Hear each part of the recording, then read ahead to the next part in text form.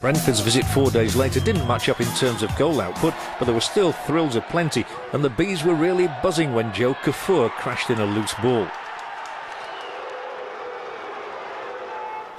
The Bees managed to then swap themselves in the face with a type of own goal to give any defender nightmares. Richard Hinds met the corner and left the rest to Brentford's John Mousinho.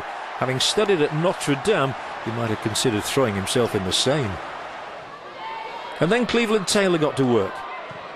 But a combination of misfortune and misfiring meant his crosses created nothing. Nothing tangible anyway. How Brentford, though, survived these skirmishes is a mystery.